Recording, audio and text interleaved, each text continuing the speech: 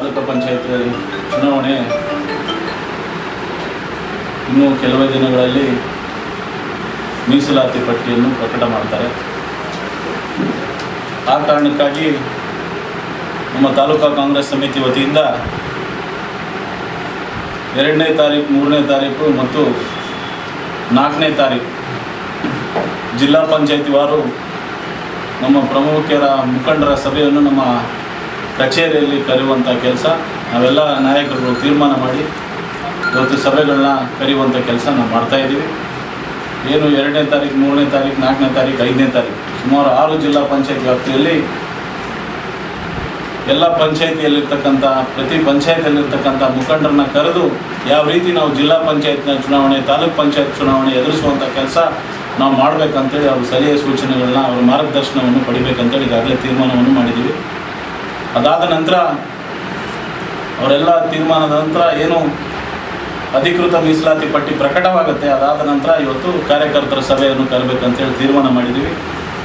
ಇವತ್ತಿನ ಮಾನ್ಯ K P C C ಅಧ್ಯಕ್ಷರು, ಮಾನ್ಯ ಸಿ ಎಲ್ ಪಿ ನಾಯಕರವರ ಮಾರ್ಗದರ್ಶನದಲ್ಲಿ ಇವತ್ತು ನಮ್ಮ ಸಿಂಧನೂರು ತಾಲೂಕಾ ಕಾಂಗ್ರೆಸ್ ವತಿಯಿಂದ ನಾವೇನು ತೀರ್ಮಾನ ಮಾಡಿದ್ದೀವಿ. ಆ ತೀರ್ಮಾನದಂತೆ ಇವತ್ತು ಏನು ಎರಡನೇ ತಾರೀಕು ಮೂರನೇ ತಾರೀಕು ನಾಲ್ಕನೇ ತಾರೀಕು ಐದನೇ ತಾರೀಕು ಈ ಸಭೆಗಳನ್ನ ಜಿಲ್ಲಾ ಪಂಚಾಯತ್ ವಾರ ನಿಗದಿ ಮಾಡಿ. ಈಗಾಗಲೇ ನಿಗದಿ ಮಾಡಿದ್ದೀವಿ. ನಿಗದಿ ಮಾಡಿ ಇವತ್ತೆಲ್ಲ ನಮ್ಮ ಮುಖಂಡರ ಸಭೆ ಬೆಳಗಿನ ತೀರ್ಮಾನದಂತೆ ಇವತ್ತು ನಾವು ಮಾಡ್ತಾ ಇದ್ದೀವಿ.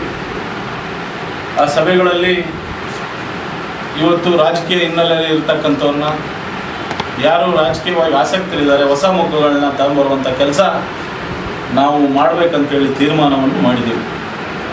ಇವತ್ತು ಯಾರು ನಿರಂತರವಾಗಿ ಜನರ ಜೊತೆಗಿದ್ದು ಯಾರು ರಾಜಕೀಯ ಹಿನ್ನೆಲೆ ಇಲ್ಲ ಅವರು ಜನರ ಜೊತೆಗೆ ಯಾರು ಇರ್ತಕ್ಕಂಥವ್ರನ್ನ, ಅಂಥವ್ರನ್ನ ಕರ್ಕೊಂಡು ಬಂದು ಇವತ್ತು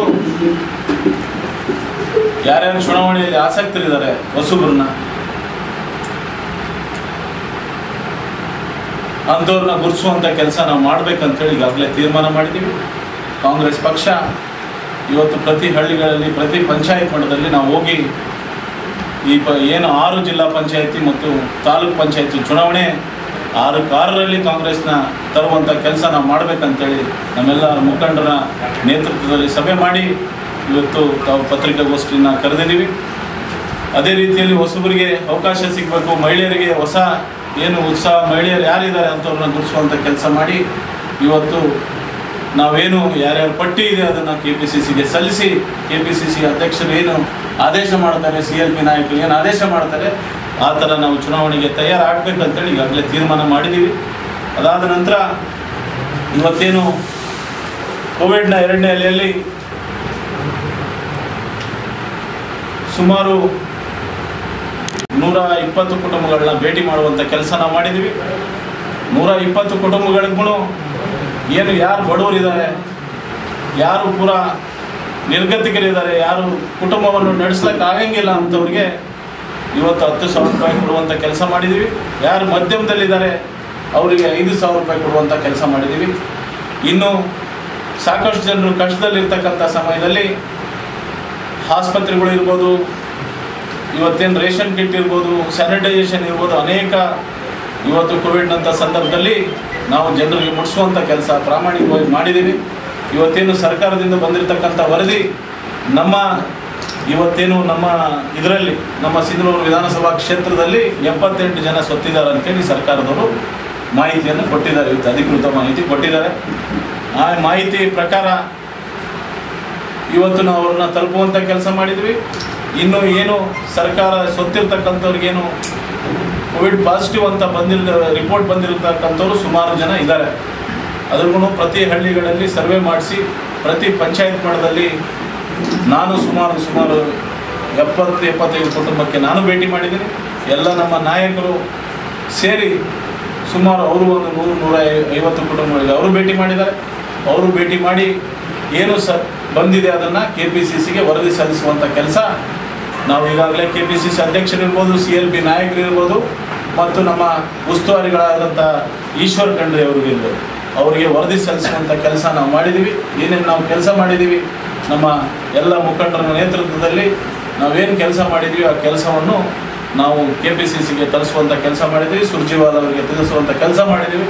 ಏನೇನು ನಮ್ಮ ಕೆಲಸ ಮಾ, ಕಾರ್ಯಗಳು ಆಗಿದೆ ಎಂಬುದರ ಬಗ್ಗೆ ಸಂಪೂರ್ಣ ಮಾಹಿತಿಯನ್ನು ಕೊಡುವಂಥ ಕೆಲಸ ಇವತ್ತೇನು ನಾವು ಎಲ್ಲ ನಮ್ಮ ನಾಯಕರ ಜೊತೆಗೂಡಿ ಇವತ್ತೊಂದು ನಿಯೋಗ ಹೋಗಿ ನಾವು ಮಾಡಿರ್ತಕ್ಕಂಥ ಕೆಲಸ ಕೋವಿಡ್ನಲ್ಲಿ ಏನೇನಾಗಿದೆ, ಕಾಂಗ್ರೆಸ್ ಪಕ್ಷದ ಸ್ಥಿತಿಗತಿಗಳ ಬಗ್ಗೆ ವಿವರಣೆವಾಗಿ ನಾವು ಹೇಳುವಂಥ ಕೆಲಸ ನಾವು ಮಾಡಿದ್ದೀವಿ ಅಂತೇಳಿ ಸಂದರ್ಭದಲ್ಲಿ ಹೇಳಲಿಕ್ಕೆ ಬಯಸ್ತೇನೆ. ಅದೇ ರೀತಿಯಲ್ಲಿ ಇವರು ಬೆಳೆದಿರ್ತಕ್ಕಂಥ ಏನು ಜೋಳ, ಸುಮಾರು ಆರು ತಿಂಗಳುಗಳು ಆದರೂ ಇವತ್ತು ಅವರಿಗೆ ರೈತರಿಗೆ ದುಡ್ಡನ್ನು ಬರುವಂಥ ಕೆಲಸ ಆಗಿದ್ದಿಲ್ಲ.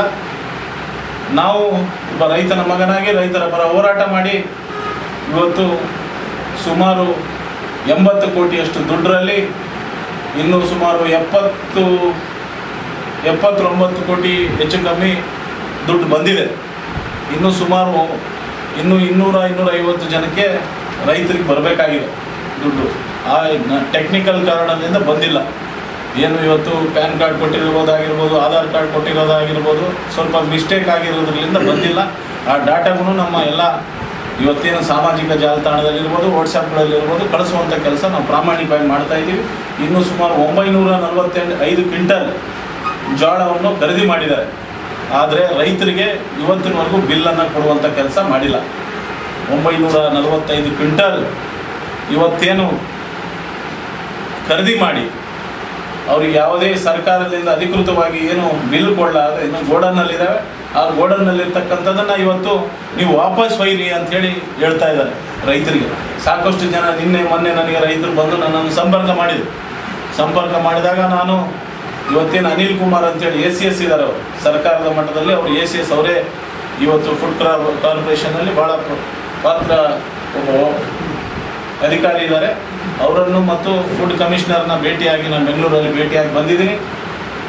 ಇವತ್ತೇನಾದರೂ ಒಂಬೈನೂರ ನಲವತ್ತೈದು ಕ್ವಿಂಟಲ್ನ ರೈತರು ಕೊಟ್ಟಿರ್ತಕ್ಕಂಥದ್ದನ್ನು ಇವತ್ತೇನು ಅಲ್ಲಿ ಅಲ್ಲಿ ಮಾಲಿಟ್ಟು ಸುಮಾರು ಆರು ತಿಂಗಳಾದ್ರೂ ಅದನ್ನು ಇವತ್ತು ಹುಳ ಹತ್ತುವಂಥ ಕೆಲಸ ಆಗಿದೆ. ರೈತರಿಗೆ ವಾಪಸ್ ಹೋಗಿ ಅಂತ ಹೇಳ್ತಾ ಇದ್ದಾರೆ.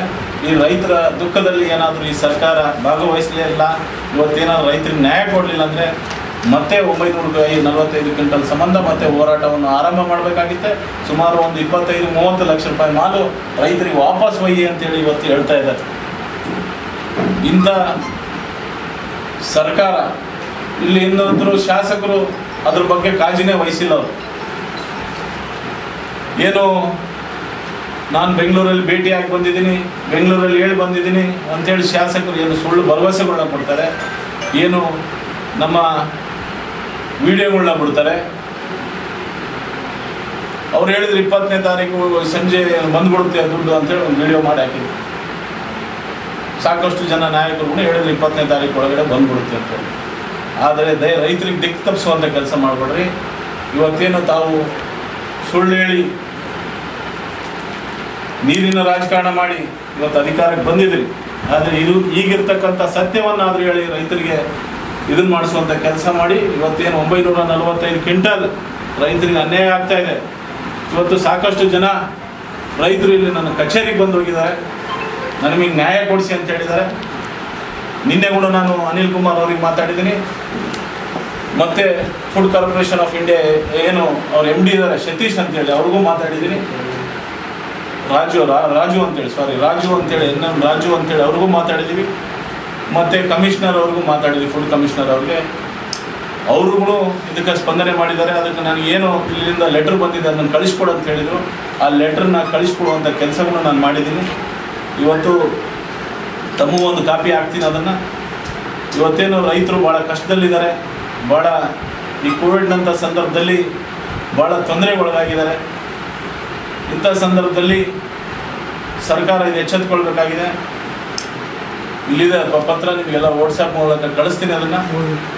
ಇವತ್ತೇನು ಪೇಪರ್ ಪ್ರತಿ ಪ್ರತಿಯೊಂದು ಮನೆಯ ಡಾಟಾವನ್ನು ಕಲೆಕ್ಟ್ ಮಾಡಿದ್ದೀವಿ ಈಗಾಗಲೇ ಕೆ ಪಿ ಸಿ ಸಿ ಒಂದು ಒಂದು ವರದಿಯನ್ನು ಸಲ್ಲಿಸಿದ್ದೀವಿ ಅವ್ರಿಗೂ ಮುಖ್ಯಮಂತ್ರಿ ಮೇಲೆ ಒತ್ತಡ ಹಾಕಿದ್ದಾರೆ. ಇದನ್ನು ಏನು ಕೊಟ್ಟಿದ್ದೀವಿ ಇದನ್ನು? ಇದನ್ನು ಕೆ ಪಿ ಸಿ ಸಿಗೂ ಒಂದು ಕಾಪಿ ಕೊಟ್ಟಿದ್ದೀವಿ. ಒಂದು ಕಾಪಿ ಕೊಟ್ಟು ಅವರು ಸರ್ಕಾರದ ಮೇಲೆ ಒತ್ತಡ ಹಾಕುವಂಥ ಕೆಲಸ ಮಾಡ್ತಾ ಇದ್ದಾರೆ. ಇವತ್ತೇನು ಏನು ಡೆತ್ ಸರ್ಟಿಫಿಕೇಟ್ಸ್ ಏನಿದೆ? ಇವತ್ತೇನು ಡೆತ್ ಸರ್ಟಿಫಿಕೇಟ್ಸ್ ಇರ್ಬೋದು, ಇವತ್ತೇನು ಕೋವಿಡ್ನ ರಿಪೋರ್ಟ್ ಇರ್ಬೋದು, ಆಧಾರ್ ಕಾರ್ಡ್ ಇರ್ಬೋದು, ರೇಷನ್ ಕಾರ್ಡ್ ಇರ್ಬೋದು, ಇವತ್ತು ಅವ್ರಿಗೆ ಏನು ಸಂಪೂರ್ಣ ಸರ್ಕಾರದವ್ರು ಏನೇನು ಕೇಳಿದ್ದಾರೆ, ಅದ್ರ ಮಾಹಿತಿಯನ್ನು ಕೇಳಿದೀವಿ. ಇದಕ್ಕೆ ಇರ್ತಕ್ಕಂಥ ಜೀವವನ್ನು ಕೊಡ್ಲಿಕ್ಕೆ ಆಗಂಗಿಲ್ಲ. ಆದರೆ ಅವ್ರ ಕುಟುಂಬ ನಡೆಸಲಿಕ್ಕೆ ಕನಿಷ್ಠ ಐದು ಲಕ್ಷ ನೀವು ಸರ್ಕಾರದವರು ಘೋಷಣೆ ಮಾಡ್ಬೇಕಂತೇಳಿ ಈಗಾಗಲೇ ಕೆ ಪಿ ಸಿ ಸಿ ಅಧ್ಯಕ್ಷರು ಮತ್ತು ನಮ್ಮ ನಾಯಕರಾಗಿರ್ತಕ್ಕಂಥ ಸಿದ್ದರಾಮಯ್ಯ ಅವರು ಘೋಷಣೆ ಮಾಡಿದ್ದಾರೆ. ಇವತ್ತು ಆ ಘೋಷಣೆ ಇವತ್ತು ಘೋಷಣೆ ಆಗಿ ಉಳಿಯಂಗಿಲ್ಲ. ಅವ್ರೇನಾದ್ರೂ ಒಂದು ಲಕ್ಷ ಜೊತೆಗೆ ಇನ್ನೂ ನಾಲ್ಕು ಲಕ್ಷ ಕೊಡದೆ ಹೋದಲ್ಲಿ ಇಡೀ ರಾಜ್ಯಾದ್ಯಂತ ನಾವು ಹೋರಾಟ ಮಾಡ್ತೀವಿ ಅಂತೇಳಿ ನಮ್ಮ ಕೆ ಪಿ ಸಿ ಸಿ ಅಧ್ಯಕ್ಷರು, ನಮ್ಮ ನಾಯಕರಾದಂಥ ಡಿ ಕೆ ಶಿವಕುಮಾರ್ ಅವರು ಹೇಳಿದ್ದಾರೆ. ನಮ್ಮ ಹೋರಾಟ ಈ ಸಿಂಧನೂರಿನ ವಿಧಾನಸಭಾ ಕ್ಷೇತ್ರದಲ್ಲಿ ಏನಾದರೂ ನ್ಯಾಯ ಸಿಗದೆ ಹೋದಲ್ಲಿ ನಮ್ಮ ಹೋರಾಟ ಮತ್ತೆ ನಿರಂತರವಾಗಿ ಇದರಿಗೋಸ್ಕರ ಇರುತ್ತೆ ಅಂತೇಳಿ ಈ ಸಂದರ್ಭದಲ್ಲಿ ಹೇಳಲಿಕ್ಕೆ ಬಯಸ್ತೇನೆ. ಇವತ್ತೇನಾದರೂ ತಮ್ಮ ಇನ್ನು ಏನಾದರೂ ತಮ್ಮ ಇವತ್ತೇನು ಫಸ್ಟ್ ಪತ್ರಿಕಾಗೋಷ್ಠಿಗೆ ವಿರಾಮ ಹೇಳ್ತೇವೆ. ತಮ್ಮದು ಯಾವಾಗಿದೆ ಇವತ್ತು ಅವ್ರು ಯಾಕೆ ಕಡಿಮೆ ಕೊಟ್ಟಿದ್ದಾರೆ ಅಂದರೆ ಇವತ್ತು ಜನರಿಗೆ ಎಲ್ಲಿ ನಾವು ಕೋವಿಡ್ ಪಾಸಿಟಿವ್ ಅಂತ ಹೇಳಿ ಬಂದವರಿಗೆ ಕೊಟ್ಟರೆ ಸಾಕಷ್ಟು ಜನ ಇವತ್ತು ಬೇರೆ ಬೇರೆ ರಾಯಚೂರು ಇದರಲ್ಲಿಗೆ ಹೋಗಿದ್ದಾರೆ. ಅಂಥವ್ರು ಮಾಹಿತಿ ತೊಗೊಂಡಿಲ್ಲ ಅವರು. ಈ ಸರ್ಕಾರದ ಏನು ಇವತ್ತು ಘೋಷಣೆ ಮಾಡಿದ್ದಾರೆ ಒಂದು ಲಕ್ಷ, ಎಂಬತ್ತು ಜನ ಅಂತಂದ್ರೆ ಎಂಬತ್ತು ಲಕ್ಷ ರೂಪಾಯಿ ಆಗುತ್ತೆ. ಒಂದು ತಾಲೂಕಲ್ಲಿ ಅದೇ ಆ ಥರ ಲೆಕ್ಕ ಮಾಡಿ ಇವತ್ತು ಕಡಿಮೆ ತೋರಿಸ್ತಾ ಇದ್ದಾರೆ ಆ ಕಾರಣಕ್ಕಾಗಿ ನಾವು ಈಗ ಸರ್ಕಾರಕ್ಕೆ ಒತ್ತಾಯ ಮಾಡ್ತೀವಿ ದಂಡಾಧಿಕಾರಿಗಳು ಒತ್ತಾಯ ಮಾಡ್ತೀವಿ, ಇಲ್ಲಿ ಜಿಲ್ಲಾಧಿಕಾರಿಗಳು ಒತ್ತಾಯ ಮಾಡ್ತೀವಿ. ಒತ್ತಾಯ ಮಾಡಿ ಕೂಡಲೇ ಪರಿಹಾರ ಕೊಡದೆ ಹೋದಲ್ಲಿ ಕೂಡಲೇ ನಮ್ಮ ಹೋರಾಟವನ್ನು ಪ್ರಾರಂಭ ಮಾಡ್ತೀವಿ. ಇನ್ನು ನಮ್ಮ ಪತ್ರಿಕಾ ಮಿತ್ರರು ಏನಾದರೂ ಕೇಳೋದಿದ್ರೆ ಕೇಳ್ಬೋದು ಕಾಂಗ್ರೆಸ್ ಸಮಿತಿಯಲ್ಲಿ ಏನಿದೆ, ಅದರಲ್ಲೇ ಎಲ್ಲ ಮುಂಚೂಣಿ ಘಟಕಗಳು ಬರೋದು. ನನಗೆ, ನಾನೊಬ್ಬ ರಾಜ್ಯ ಯುವ ಕಾಂಗ್ರೆಸ್ನ ಅಧ್ಯಕ್ಷನಾಗಿ ಕೆಲಸ ಮಾಡಿರುತ್ತೆ ನನಗೆ ಗೊತ್ತಿದೆ. ಪಾಪ ಗೊತ್ತಿಲ್ಲ ಅಂದ್ರೆ ನಾನು ಏನು ಹೇಳಕ್ಕಾಗಲ್ಲ. ಭಾಗ ಎರಡೇ ಇಲ್ಲ ಯಾವುದು ಭಾಗ ಆಗಿಲ್ಲ ನೀವು ಭಾಗ ಸೃಷ್ಟಿ ಮಾಡಬೇಕು. ಸರ್ ಅಧಿಕೃತವಾಗಿ ಬ್ಲಾಕ್ ಕಾಂಗ್ರೆಸ್ ಅವ್ರದ್ದು ಸರ್. ಇಲ್ಲ ಇಲ್ಲ ಅಧಿಕೃತ ನಾನೇನು ಹೇಳಕತ್ತೀನಿ ಬ್ಲಾಕ್ ಕಾಂಗ್ರೆಸ್ ಅವ್ರ ಅಧ್ಯಕ್ಷರಿದ್ದಾರೆ ಅವ್ರು ಅಧಿಕೃತವಾಗಿದಾರ ನಾವು ಅದನ್ನೇ ಇಲ್ಲಂತ ನಾವು ಹೇಳಕತ್ತಿಲ್ಲ. ನಾನೇನು ಹೇಳಕತ್ತೀನಿ ಇಲ್ಲ ಅಂತ ಹೇಳಕತ್ತಿಲ್ಲ. ತಾಲೂಕಾ ಕಾಂಗ್ರೆಸ್ ಸಮಿತಿ ಎಲ್ಲಾ ಮುಂಚೂಣಿ ಘಟಕಗಳು ಅಂತ ಹೇಳಿ ನಾವು ಹೇಳ್ತಿರೋದು. ಯುವ ಕಾಂಗ್ರೆಸ್ ಬಂತು ಮಹಿಳಾ ಕಾಂಗ್ರೆಸ್ ಬಂತು ಎನ್ ಎಸ್ ಯು ಬಂತು ಎಸ್ ಸಿ ಬಂತು ಎಸ್ ಟಿ ಬಂತು ಏನು ಒ ಬಿ ಸಿ ಬಂತು ಮೈನಾರಿಟಿ ಬಂತು ಎಲ್ಲ ಮುಂಚೂಣಿ ಘಟಕಗಳು ಅಂತ ಹೇಳ್ತಾರೆ. ಅದ್ರಾಗ ಮುಂಚಿನ ಘಟಕ ನಿಮ್ಗೆ ಮುಂಚಿನ ಘಟಕ ಮುಂಚೂಣಿ ಘಟಕ ಅದ್ರಾಗಿಲ್ಲ ಎಲ್ಲ ಒಂದೇ ಇಲ್ಲ ಇಲ್ಲ ಅದು ತಾಲೂಕಾ ಕಾಂಗ್ರೆಸ್ ಸಮಿತಿ ಒಳಗೆ ಬರೋದು ಅವೆಲ್ಲ ಮುಂಚೂಣಿ ಘಟಕಗಳ ಅಧ್ಯಕ್ಷರು ಎಲ್ಲರನ್ನ ಕೆಲಸ ಮಾಡ್ತಾರೆ ಅವ್ರ ಪರವಾಗಿ ನಾವು ಹೇಳ್ತಾರೆ.